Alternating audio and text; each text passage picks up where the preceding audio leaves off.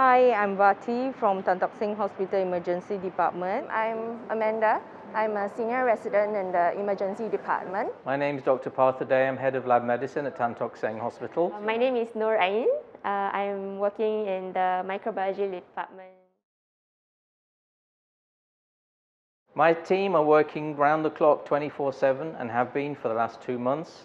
It's hard work, it takes a lot of concentration and a lot of effort, and there's a lot riding on each result that they produce. They stay in the hospital to keep you out of the hospital. So please do your part and stay at home for all of us. I think it's extremely important for people to stay at home. This is make or break during this period for us to curb this community transmission. We believe that this war is not just fought in the hospitals alone. So it's really important for everyone to stay home and help us.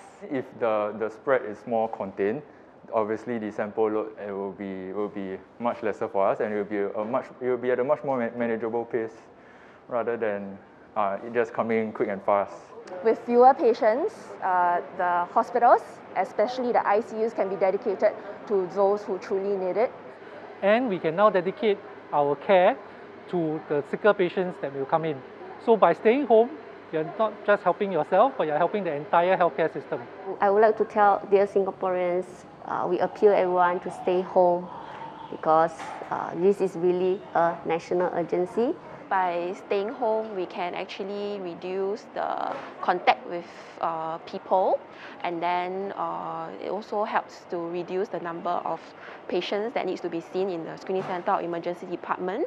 Staying at home actually uh, reduce the flow of people in and out and also contact with uh, direct patient contact with any cluster outbreak. So by staying at home, hopefully there will be fewer transmissions, fewer infections, and that will directly translate to fewer patients that we have to call, we have to interview. By staying at home, you limit the risk of infecting others, also you limit the risk of getting infected by others. I hope that none of my patients will get this COVID condition and all their family members will adhere to the precautions and stay at home and stay away from the crowd. And when they are ill, please consult a doctor. So everybody, the circuit breaker is on. Please stay home.